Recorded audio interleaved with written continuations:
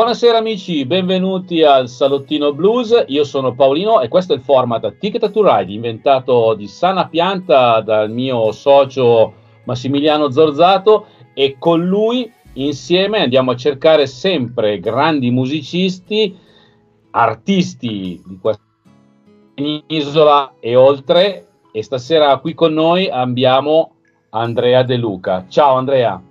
Ciao a tutti, ciao Paolino, grazie per avermi cercato e trovato. eh, caspita, non è stato difficile perché poi su TikTok eh, mi hai praticamente una sera ero un po' tranquillo, ero lì che scrollavo, mi sei venuto su e sono rimasto folgorato da quello che ha fatto la Lap Steel. mi, mi, fa, mi, fa, molto piacere, mi fa molto piacere. Sì, eh, la Lap Steel è, diciamo negli ultimi facciamo dieci anni è diventata un po' casa mia. Uh, Cavoli. È, è un bel mondo, è un mondo a parte, no? un'altra cosa. Certo essendo il salottino blues, la lap steel è proprio. Ci, ci va a pennello, certo, certo. Fantastico. Senti, quando hai cominciato però tu a studiare vabbè, chitarra, no? O qualche Io altro strumento prima? Ho iniziato a suonare la chitarra all'età di sei anni, eh, da solo, da autodidatta, come ho continuato ah. per tutta la vita. Sì. Ah, uh, cavoli. Mia, mia madre Uh, suonicchiava la chitarra, diciamo, mi ha insegnato tipo la minore, mi maggiore e poi ho fatto andare il cervello e le orecchie da soli con i dischi di papà e di mamma pure che mi facevano sentire, grazie a Dio. Io ho avuto la fortuna di svegliarmi le mattine con uh, le pareti che tremavano perché c'era sulle Zeppelin 2, insomma.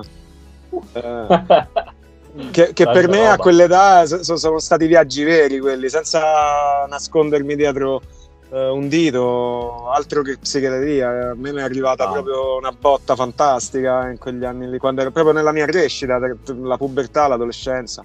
Evviva, nel senso meno male. Ah. per, per, fortuna, per fortuna. Sì, sì, sì, sì, sì. sì. Le Zeppelin, mi viene in mente Kashmir, un pezzo pauroso.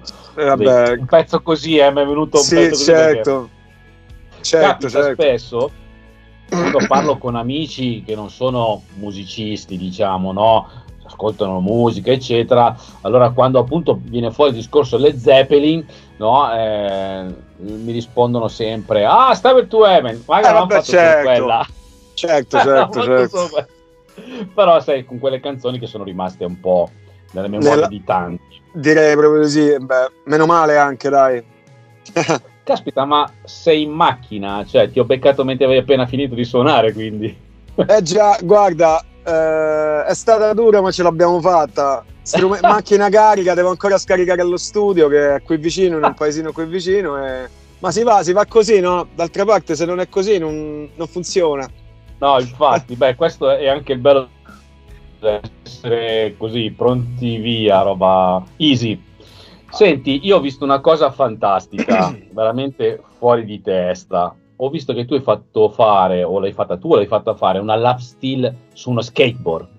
Sì, guarda, lo, lo sai com'è successo? Mm, eh, essendo la mia seconda casa ai social, eh, ho, beccato questo ragazzo del nord dell'Italia che si chiama Gianluca Ribellato ed ha questa, questo marchio, diciamo, di artigianato eh, che si chiama Garage 4 Strings, scritto col 4 in mezzo al posto di 4. E gli ho scritto dicendogli: eh, Senti, ho visto queste tavole da skate 4 corde, ma tu saresti in grado di farne una 6 corde lap steel? Eh, ci siamo sentiti per telefono, lui è stato tra l'altro veramente squisito e si è messo alla prova, e ha provato a fare una 6 corde, me l'ha mandata. E direi che è andata benissimo come esperimento stiamo perfezionando insieme anche una racchetta da tennis anni 80 trasformata sempre in lap steel. No, ci sono dei video anche di quella. Quella ancora, oh, eh, tra l'altro, è stata la, la, la, mia prima signature model perché lui me l'ha dedicata ed è venuta con me a Memphis al, allo scorso International Blues Challenge nel gennaio del 24 eh, infatti c'è scritto sul potenziometro del volume, che è la, il pomello del volume della chitarra, c'è scritto Memphis della squadra di, di football, se non mi sbaglio, o di baseball, e ah, sulla penso. paletta, sull'headstock c'è sta la mia firma. No? Figo. È, sta- è stato, è stato veramente figo Gianluca. Anzi, ciao Gianluca, grazie, grazie del supporto. E da paura. Salutiamo Gianluca e lo andremo a cercare e lo porteremo a salottino anche lui perché questa cosa mi piace tanto. Sì, lui è una bella testa. Mi piace. Ho visto che anche te però hai trovato una chitarra buttata in un cassonetto e hai tirato fuori.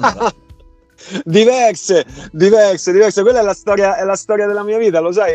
Mi ricordo, sarà più, più, di, più di dieci anni fa, avevo questo... Mh, ehm, diciamo seminario a cadenza quindicinale nella cittadina di Tuscania eh, e avevo questo laboratorio del centro aggregazione giovanile, cioè avevo una quindicina di ragazzi e ho chiesto a tutti se, se rimediavano una chitarra rotta, la chitarra classica, sai, io penso che l'Italia sia uno dei paesi con maggiore incidenza di una chitarra nell'armadio, una eco del cavolo, cioè, sì. ce l'abbiamo un po' tu, ce l'abbiamo avuta un po' tutti e la maggior parte l'ha lasciata nell'armadio, l'ha buttata, insomma.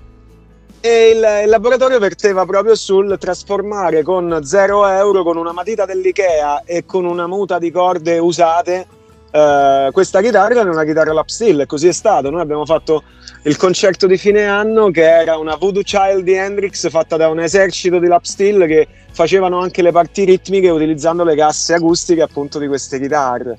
Eh, ah, una bella storia, per dire sì, il, il, video che tu hai visto è, è un po' proprio stato il rifacimento di quello che mi è successo più e più volte che ho fatto già da piccolo perché io quando avevo 14 anni ho conosciuto virtualmente tramite la televisione, tramite Helper Roxy Bar di Red Ronnie, ho conosciuto Ben Harper che wow. mi, fo- mi, folgorò oh.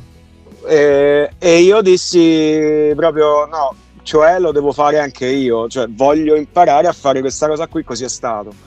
Io dal giorno dopo ho cominciato a fare esperimenti, a capire come si faceva. Purtroppo non c'era l'internet che c'è oggi, che vai e cerchi e trovi qualsiasi cosa ed è, è fantastico questo.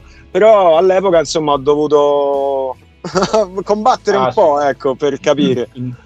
Immagino, immagino, immagino perché anch'io non sono giovanissimo, quindi eh, che, ho, che ho imparato a suonare arrivavano tutti praticamente dal vinile, certo. ascoltavi e, e, tu ripetevi come, come un papagallino eh, forse però, sinceramente, beh, ho, lo faccio ancora, ancora oggi, perché delle tab non è che mi fido tantissimo. Ma eh, più che altro sono fatte bene. Sì, sì, sì, sì. Però l'orecchio, se lo sai usare, è sempre la cosa migliore. È vero? Eh, lo dico anch'io, perché magari a volte... Eh, ascoltato nel disco il chitarrista fa un certo tipo di passaggio che nella tabla non la trovi e se poi hai un vinile dove suonano in live quel passaggio nella tabla magari non lo troverai mai. Ma certo certo Ma certo. e, e quindi tu lo vuoi un po' replicare. Senti concerti visto che sei sempre in giro quanti ne stai facendo? Beh, ne sto facendo parecchi, abbiamo intensificato. Io parlo al plurale, ma in realtà sono io l'artefice di tutto questo, tutta questa cosa. Però sto spingendo parecchio sull'intensificare le attività live all'estero, perché se ti devo dire la verità, mh, comunque qui in Italia è difficile farne proprio una professione che ti porti ad avere uno stipendio reale, no? Quindi uno si deve barcamenare tutto l'anno per cercare di riuscire a fare i live poi sostanzialmente a luglio e agosto perché anche tutti quanti i festival in giro, quelle con le date un po' più fighe, sono comunque riversati tra primavera ed estate ed è difficile. E per cui eh, il mio lavoro mi ha portato però ad inserirmi sempre in contesti in cui c'era sia l'Europa che l'America dietro l'angolo e io mi sono ficcato sempre, detto proprio in francese perché ho sempre pensato che, soprattutto per quanto riguarda il blues ed affini, che il nostro è un territorio molto, du- molto, duro. Non è duro per gli americani, non è duro per quelli che vengono da fuori, che qui trovano un po' l'America, però per noi italiani è meglio che andiamo all'estero a suonare perché ci trattano bene, eh, valorizzano la nostra arte, escono gli articoli di stampa senza che uno debba fare mille telefonate e mille lecchinaggi eh, e che te lo dico a fare, cioè mh, ti porto un'esperienza se posso, che è stata, per me, folgor- è stata per me folgorante. Uh, grazie a Narcao Blues, che è uno dei maggiori festival blues uh, italiani, ma nella fattispecie della Sardegna, uh, e grazie anche a Gianni Melis, che saluto e ringrazio tantissimo, io ho fatto un gemellaggio con un festival molto importante in Polonia che si chiama il Sualki Blues Festival. un festival in cui in cartellone c'era gente come Anna Popovic e Bernard Ellison, che insomma è stata una bella storia.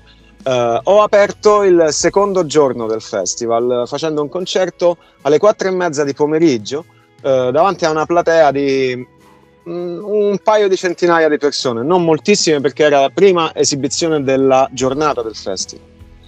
Il giorno dopo è uscito un articolo su bluesonline.pl che è uno degli organizzatori di questo festival e anche che ha questo canale eh, molto seguito, appunto che si occupa di blues, di tutti quanti gli artisti che passano per la Polonia sostanzialmente, e scrive testuali parole. Ma la rivelazione del festival, la rivelazione della serata è stato l'italiano Andrea De Luca, un ragazzo devoto al blues che ha saputo um, eh, affascinare un pubblico pur stando seduto, perché mi pare che la parte finale dice proprio perché se hai un cuore puoi affascinare una platea, puoi elettrizzare una platea pur stando seduto, perché ovviamente io la lap la suono seduta, poi suono la strato anche in piedi, però la lap steel ovviamente seduto. Alla certo, Ben sì. È stata eh, una grande soddisfazione. È stata una grande soddisfazione certo. per me. Ho fatto tante cose importanti qui in Italia, un articolo di stampa così non è mai uscito. Ma diciamo che allora il blues in Italia è veramente molto sottotono. Eh, io infatti quando in, ho iniziato con questo canale ho mm. iniziato un po' come, come, tutti, cioè recensire chitarre, no? Eh, ho visto, ho visto che, io... ti, che ti occupi anche di quello. Certo. Sì, fa, un, faccio l'endorsement per un negozio di strumenti musicali qua vicino a me, siamo molto amici eh, certo. e, e, io mh, mm, mi porto a casa le sue chitarre, le promuovo, le faccio vedere. Però poi mi sono detto e ho guardato un po' YouTube e non ho trovato nessun canale italiano che parla blues, cioè seduto certo. e parla di blues. E allora mi sono detto, ma io che amo questo genere musicale da, da quando sono nato, da, da, da, piccolissimo, da sempre, ma perché non lo posso fare io? Allora vado avanti lo stesso a fare le recensioni, però ho iniziato a inventarmi il salottino blues. Beh, ti dico Andrea, siamo partiti con un'intervista al mese, oggi ce le ho tutte le sere. Mm, bellissimo, bravo, complimenti. È, è vuol dire che funziona, vuol dire che funziona. Ma sì, il canale chiaramente cresce molto lentamente perché essendo appunto blues eh, di nicchia non è seguito come le, le, cazzate magari che fanno vedere sui social, no? che giustamente i ragazzi guardano, io non, non critico, non giudico mai nessuno, non è il mio carattere. Certo. Eh, e quindi il nostro, che è un po' come il jazz, il blues è molto di nicchia, fa fatica certo. la pedina che metto dentro, quel, quel, follower che ogni tanto entra, mi gratifica come se fossero mille. Ci credo, ci credo. Guarda, siamo sulla stessa barca. Io anche ho le stesse difficoltà, e la stessa però tenacia nel, nel, perseverare, perché comunque poi le cose se le fai di qualità arriva, prima o poi arriva. Eh. Ci vuole tanto tempo, sì. ci vuole costanza tutti i giorni. È un lavoro. Eh, sì, sì. È vero, è vero, sì, sì, è un lavoro. Ehm, senti, tu qualche disco tuo allora, eh, io ho tre dischi fuori e qualche singolo, ma mi sto abbastanza dissociando dal digitale perché eh, ho avuto dei problemi con un ultimo singolo che è stato levato dal mercato e ci sono rimasto molto male. E sinceramente, sì, e sinceramente mi sono. Mm, diciamo, sono tornato a quell'idea di farmi i dischi per cavoli miei e vendermeli ai concerti per cavoli miei perché penso che allora, non voglio dire che non farò più release su, sul digitale perché sarei fuori dal mondo e quindi non posso non farlo. Però se ci tengo particolarmente a qualcosa me la stampo e me la, me la vendo. Ci sono rimasto male per questo e mh, mm, eh, sostanzialmente quello che è successo è che io ho scritto un pezzo, cioè ho scritto un pezzo contro la, il conflitto israelo-palestinese che si chiama uh, Got to Cry for Peace, che è un pezzo che ha riscosso un successo eh, inaspettato per un artista di nicchia come me. E, ehm, mh, Però si dà il caso che raggiunte le 100.000 streams è stato levato dal mercato dicendomi che erano state eh, utilizzate delle eh, manovre di eh, crescita del, non autorizzate e che la tematica non era Uh, non rispecchiava i termini del regolamento di Spotify. Infatti, solamente Spotify me l'ha tolto, eh, tutti gli altri digital ce l'hanno. Ehm, però ovviamente il successo l'avevo raggiunto con Spotify. Tra l'altro avevo fatto un video completamente o quasi completamente con l'intelligenza artificiale e con tutto materiale preso da internet senza copyright, quindi immagini scaricate sostanzialmente, più dei uh, sì, disegni animati che io ho programmato l'intelligenza artificiale per, fa- per rappresentare la tristezza, le atrocità della guerra nel volto dei bambini, bambini che solamente guardano la camera e, e non sono bambini veri, ovviamente ho usato l'intelligenza artificiale apposta. Tra l'altro ho avuto dei problemi anche su TikTok per lo stesso brano, che anche lì mi hanno accusato di aver utilizzato dei mezzi di crescita a pagamento oppure non regolari, che poi non è che non si possano promuovere le cose, lo puoi fare e come, poi però succedono delle cose che sono più scomode delle altre. Secondo me questa è stata, potrebbe anche non essere, ma secondo me è stato per questo motivo qua. Quindi uh, Got to Cry for Peace è presente nel mio disco, stampato per adesso in una tiratura di mille copie che potete trovare ai miei concerti. E, ed, è, ed, è, molto bello perché è un estratto di un live bellissimo che ho fatto il 25 marzo del 2023 allo studio Miriam a Roma live in studio con pubblico come si faceva negli anni 70 quando si facevano le session per registrare i dischi, Bello. l'abbiamo fatto così. E, è quasi tutto quel live lì più appunto un paio di singoli registrati in studio tra cui questo qua che ti dicevo ecco. Quindi questo è il mio disco di punta di ora. Poi tutta, tutto il resto della mia discografia Andrea De Luca Spotify o iMusic uh, Apple Music trovate i miei tre dischi e qualche singolo anche con Dean Bowman Uh, insomma, un po' di musica da ascoltare mia c'è in giro. Fantastico. metteremo in descrizione, metteremo i link dove Bello. la gente che andrà a vedere questa intervista cliccherà Volentieri. e troverà. Ma io queste cose qua non le capisco tanto. Ho visto che a Bologna, quando è venuto Eric Clapton, uh-huh si è presentato con la Stratocaster con la bandiera della Palestina. Eh già, sì, sì, abbiamo visto tutte le foto. ho ammirato, mi sono quasi inginocchiato, eh, perché a parte essere un uh, strepitoso fan di Eric Clapton, io lo A chi lo dici? Infatti ho fatto seri sacrifici a prendermi la Blacky e qualche me la tocca. Eh, eh, eh, eh e quando l'ho visto salire sul palco con quella chitarra ho detto vabbè dai eh, sei un dio c'è niente da fare. Vabbè ma hai visto anche il concerto che ha fatto per lo stesso motivo no? che c'è il dvd eh, comunque il video da, da, comprare. Ancora non l'ho preso deve essere spettacolare proprio quello. Sì. Ho, ho visto sì, qualche sì. estratto è stato fantastico per l'età che ha poi c'è ancora una voce stratosferica, ancora spacca ancora il microfono. È vero, è vero. E ho notato però tutte le volte che lo ascolto mh, dal mm. vivo, tutte le volte che fa Tears in Heaven, gli trema la voce. Eh è incredibile, eh? Cioè, Penso che, che, sia incontrollabile quella storia là. C- certo, però sai, dopo tutti questi anni e invece ogni volta che la fa, l'ha fatta anche a Bologna, chiaramente in acustico, e mh, per chi conosce tutta la storia dietro, chiaramente certo. lo sente, quella vibrazione la sente. No? Assolutamente sì, sono d'accordo con te. È fantastico. È vero, è vero. Vabbè, sì. è, è, blues praticamente, non si può dire. Eh, ma certo, certo, certo. Beh, il mio Poi... disco preferito di Clapton è From the Cradle. Eh, penso che è il disco che mi ha cambiato la vita più di tutti sul blues. Eh, sì, ce ne sono veramente. Sì, anche a me piace molto. Poi io, vabbè, mm, non so neanche io quanti ne ho in giro. Alcuni doppi, pensate. Cioè, sì, sì, certo. cioè, vabbè, eh, c'ho quello nero che lui è in piedi appoggiato alla Blackie. No? Ne ho due. no, ne ho tre, scusa. Due in vinile e uno in CD. Vabbè. E, e, e guarda, se ti capita, ricompralo Sì, no, cioè, no, io, io Pat Garrett e Billy the Kid di Bob Dylan l'avrò comprato tre volte. Ogni volta che lo vedevo, no, ma costa solo 5,90. Oh, lo compro. Eh. Quella è una cosa che, ah, pure se lo regali, hai fatto comunque un'opera di bene, capito? Eh, è vero, è vero. Senti, i tuoi programmini per il futuro? Allora, il futuro prossimo è, è, è, bello tosto perché parto il Zurigo in un piccolo club che è un po' riscaldare i motori per il festival che ho il giorno dopo invece ad Asfurt in Germania, al centro della Germania, dove mi eh, hanno reso protagonista della Blues Night, che è il festival dedicato al blues di questa agenzia con cui ho iniziato a lavorare da due anni, che si chiama la JH eh, Blues Vibrations.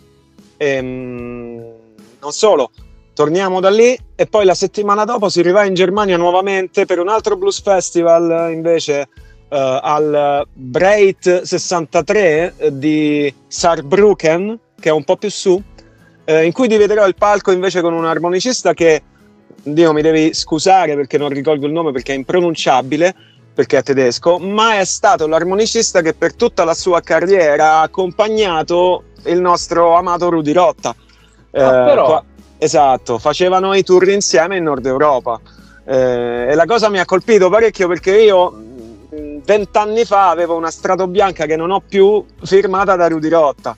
Ma no! Eh, sì, sì, sì.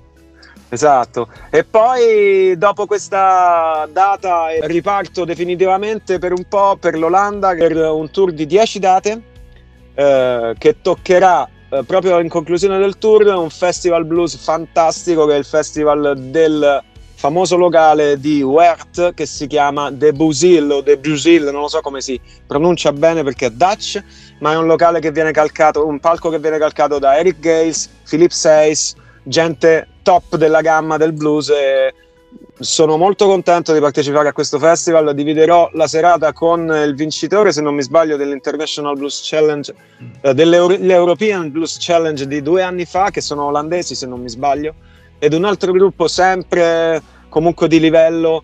Eh, usciranno tra poco le comunicazioni. Dopodiché wow. si, torna, si torna a casa per poi ripartire nuovamente in tour i primi di febbraio per un tour di oltre 20 date Polonia, Repubblica Ceca, grazie alla mia conoscenza con il bassista del gruppo che eh, ospita il figlio di Gary Moore nella band Moore Place Moore che gira l'Europa. Um, ho fatto una jam con loro sul parco di Narcao quest'estate e questo bassista che è anche l'agente della band eh, mi ha puntato e mi ha detto io voglio lavorare con te ed è stata una cosa tipo che il giorno dopo mi ha mandato già le idee, le opzioni di tour da fare insieme. Quindi, e questa cosa si è poi trasformata realmente in verità, quindi non solo chiacchiere, anche fatti e sono troppo contento di questa storia qui. Beh, insomma, grande, cioè, caspita, complimenti. Cioè. Grazie, Ciao. grazie, lo, lo, lo, apprezzo molto. Tanta Davvero. roba, poi sai, Gary Moore non è l'ultimo degli ultimi, come si vuol dire. No, ass- assolutamente, poi molto trasversale. Come, ah, caspita. Come bluesman. Scherziamo. Sì, sì, sì, sì, a me piace molto, poi è molto armonioso su alcuni pezzi, mi piace da sì, morire. Sì, sì Senti, io eh, una domanda che faccio a tutti uh-huh. e piace poco, ma la faccio perché piace poco anche a me e quindi le cose che piacciono poco io eh certo. ci stuzzico. Cosa ne pensi dei talent? Guarda, ho fatto l'audizione di mm, sei tu che, sei tu che Vales, come che sei, tu sì che Vales, mm. scusami eh, non credo mi abbiano preso, però la redazione ha apprezzato tantissimo, mi hanno detto quasi che cosa ci stai facendo tu qui. Però la verità è che i talent, comunque, da che mondo è mondo, dai talent escono dei personaggi di spessore. Questo è vero, succede in America, succede anche da molto prima che succedesse qui in Europa, in Italia. Eh, poi che fanno schifo, è vero, nel senso che, che c'è tantissima monnezza, che c'è immondizia, che, c'è, che, ci sono delle giurie che solitamente non, non, hanno assolutamente competenze, ma d'altra parte vogliamo parlare dei direttori artistici dei, dei locali ah. o dei ah. festival, in molti casi ah. stiamo parlando st- dello stesso rapporto, no? nel senso... Sì. Uh, Sì. Però ciò non toglie che diano visibilità a qualcuno. Quello che voglio dire è come l'intelligenza artificiale, per dire, no? No, è una cosa che potrebbe fare dei danni allucinanti oppure se messa in mano agli stupidi. Sì ma se messa in mano a quelli intelligenti forse funziona no? quindi con i talent io faccio un po' lo stesso discorso. Perché non me la devo prendere questa visibilità se me la offri? Io se passavo a questo talent avrei, avrei avuto sicuramente una vetrina maggiore avrei lavorato di più perché no? Non c'è niente di male ecco. No. La vedo così. allora, più o meno la vedo anch'io in questo modo eh, è una cosa buona che ci siano perché se no ehm, oggi in Italia è diventato molto triste, non è più come una volta. Eh, mm. Una volta magari c'erano dei talent show che giravano nelle, nei pub, eh, in qualche discoteca a sentire dei telescout, scusano, dei teleshow, dei sì, telescout sì, sì, che gironzolavano eh, non so, un nome a caso, Cecchetto, Claudio Cecchetto era uno certo. di quelli che, che, girava, quello che sentiva se lo portava in radio lo faceva crescere. Oggi questa cosa diventa quasi sparita e quindi se non ci fossero i, i talent eh, morirebbe completamente la cosa. Come dici tu, giustamente c'è dietro dell'immondizia, ma c'è sempre stata. Certo, la musica brutta c'era pure negli anni 60, voglio dire eh, a voglia, eh, c'è sempre stata e, e, a volte erano lì che cantavano, dicevi ma cavolo canta questo, eppure era lì. Eh, e quelli che i giudici, se vogliamo chiamarli così, eh, che ci sono anche e c'erano anche nei locali quando suonavo io, andavi a parlare col proprietario del pub per andare a suonare, questo non capiva una mazza di musica, l'unica cosa che ti chiedeva era quanta gente mi porti? La storia delle nostre vite. Eh sì, e quindi io sì. Ho smesso di andare a suonare nei locali. Ma sì, ma poi alla fine, guarda, io i locali piccoli non li faccio, almeno, poi qui in Sardegna è, è, è un po' difficile, ti devo dire la verità. Cerco di concentrarmi sui festival che ne abbiamo diversi belli in Sardegna, quindi quelli vale sempre la pena farli. E poi qualche, qualche locale c'è, però di certo non puoi fare un'attività live chissà qual, quanto uh, fru- fruttante, diciamo, è tosta, è tosta, è molto tosta. Giusto una birretta. Eh, capito? Sì. Sì, Fantastico. Sì. Poi insomma io ho due figli eh, ah. e, 40, e 43 anni e sto in giro da quando ce ne ho 16, quindi insomma localetti ne ho fatti. Eh, immagino. Se capitano le cose grosse ti prepari e le vai a fare. Qual è certo, il problema? Certo. Certo, certo, certo. Mm-hmm. Beh, insomma, io non ti voglio trattenere oltre perché già ti ho... Ti ho non ti preoccupare, è un piacere chiacchierare con un amico blues, che cavolo. Eh. Eh, che capita, non capita spesso. Beh, è, è, un po' difficile anche se... Sì. sì. mi capita abbastanza spesso, certo, è, un, è sempre quando sto in giro però. Beh, è chiaro è chiaro, è chiaro. Senti, eh, una, una, una, domanda che faccio anche agli altri. Qual è il tuo strumento preferito in assoluto? Ah, da suonare o preferito in assoluto da ascoltare? Eh, io dico sempre da suonare, però da ascoltare okay. non sarebbe male. Uh, da suonare? guarda, da suonare io credo che che la Stratocaster sia la, la cosa che, che, mi ha cambiato la vita. Mi ha cambiato la vita Hendrix, mi ha cambiato la vita Stevie Ray so, e, e, Eric Clapton, sono quelli che poi più di tutti maggiormente imbracciavano sempre una Strato, quindi uh, sì. non a caso. Poi ovviamente la lap steel. La lap steel guitar è... Sì, non, non posso dire neanche una è la prima e una è la seconda, sono due cose così diverse che posso, dir, posso dirle prime entrambe. Sono due deve... macchine da corsa, solo che uno fa rally e l'altra fa Formula 1. Sì, quindi... esatto, esatto. Fanno due, due, cose che poi possono lavorare insieme, questo è fantastico. E, e poi la batteria. Ah. Io mm, mi ricordo... Suoni la batteria?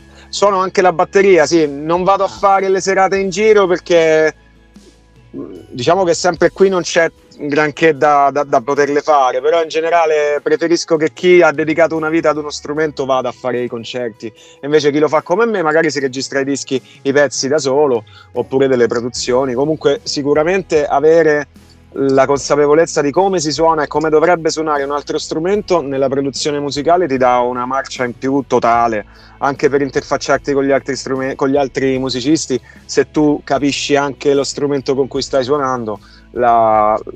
l'intesa sale, ecco, è, è, è necess- necessariamente così. Uno strumento, come si dice, complementare fa sempre comodo. Sì, questo sì, sicuramente. Ma guarda, io mh, qui a Salottino ho avuto la fortuna di, di avere, intervistare Andrea Braido. Certo, è lui è un altro e, matto. È, ma sì, sì, è un, veramente bravissimo, esagerato. E anche lui gli ho detto, ma senti, il tuo primo strumento, io pensavo chitarra, sai, sai, alla fine, anche se l'ho studiato, Braido, sapevo che gironzolava in altri strumenti, ma pensavo che il primo fosse stato proprio la chitarra, mi fa, guarda, il mio primo strumento, la batteria Ah, come? Non era la chitarra? No, quella è arrivata eh, un po' dopo. Eh, infatti, bravissimo, un batterista.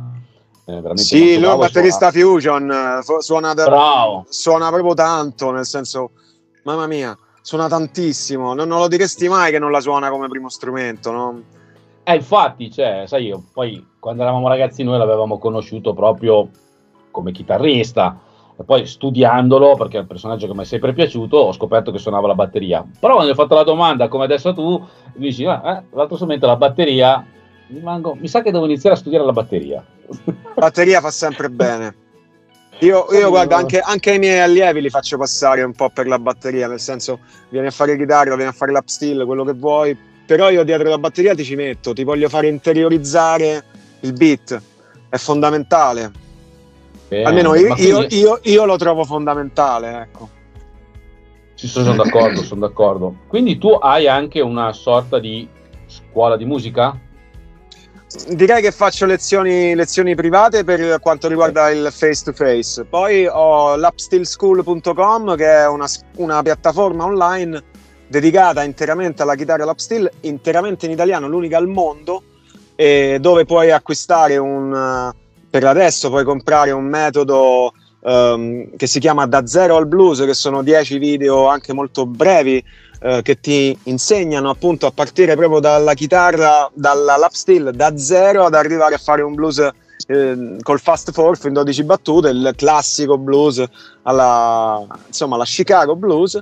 E, ehm, Bello Oltretutto fornisco tantissimo materiale gratuito che è veramente tanto perché se tu ti iscrivi solamente facendo il login, semplicemente fornendo la tua email, registrandoti gratuitamente, potrai scaricare il mio primo ebook che appunto si chiama Impara a suonare la chitarra lap volume 1, che è un libro di 60 pagine che io ti regalo se tu ti iscrivi mia, al mio sito, ecco. E poi ovviamente eh, l'attività di post di ogni giorno, quotidiana da, da tre anni, eh, in cui appunto tutti i giorni io posto un contenuto relativo alla lapstill che sia semplicemente lapstill suonata su immagina le basi, su, soli, eccetera, eccetera, e poi qualche, qualche cosa anche parlata come sto facendo io adesso con te, con i sottotitoli, carino, insomma, un lavoro a pieno regime, ecco, questo qui de, dell'editing. Eh.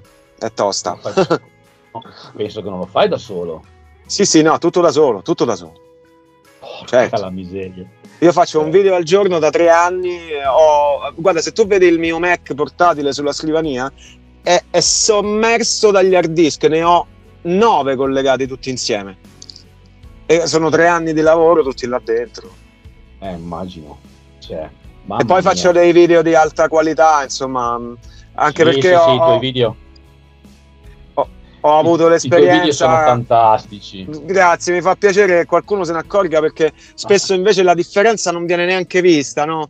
E invece io ce la metto tutta perché mi piace proprio, nel senso. Eh, no, no, è, no, una, no. è una mia passione farli belli.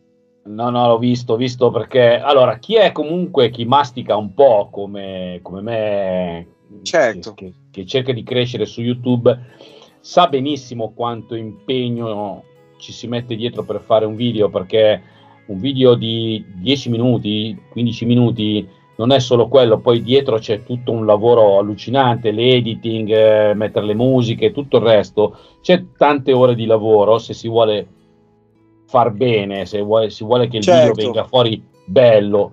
E quando ci si impegna così tanto e si va a vedere altri video come i tuoi, quando una cosa è fatta bene, cioè il video fatto col telefonino, ok, oggi sono telefonini incredibili eh, certo. e va certo. bene, però poi quando dietro non c'è solo il telefonino, ma c'è dietro qualcos'altro, eh, insomma, si vede come chi fa il nostro mestiere, si vede. Esatto, esatto. Infatti ti volevo fare i complimenti anche per lo studio che è bellissimo. anche qua fatica. Eh, eh beh, ci credo, ma è giusto, no? No, dai. No ringrazio. pain, no gain. Bravo, ti ringrazio perché anche qua io ci tengo, ci tengo tanto a avere il mio angolino fatto bene con eh, le, le, giuste luci, eccetera, eccetera. E anche qua ci certo. impegnano tempo, soldi, eccetera, eccetera. Però dai, poi... Ci sta, ci sta, è giusto. Si hanno i risultati. Bene, bene Andrea, io sono molto felice di averti conosciuto, insomma, di persona. Anche io, anche io, molto, certo. Speriamo di vederci di persona, tanto vengo da, dalle tue parti, eh, sono sicuro. Eh, bene, bene, guarda, mandami Capiterà. un messaggio, mi faccio, mi faccio trovare di sicuro. Contaci, e, certo. in, in descrizione io metterò tutto il tuo repertorio, non so se mi basterà tutta la pagina della descrizione. Farò un to be continued. Fai, sì, sì, oppure, oppure, a grandi linee. Vai tranquillo, eh, certo. Ho visto che veramente hai tanto. Va bene, io ti lascio andare a riposare perché ti ho già strappato via. È stato un piacere, veramente. Grazie. Grazie Andrea, grazie ancora. Niente, grazie a te, grazie, un saluto al salottino. Eh. Evviva il blues!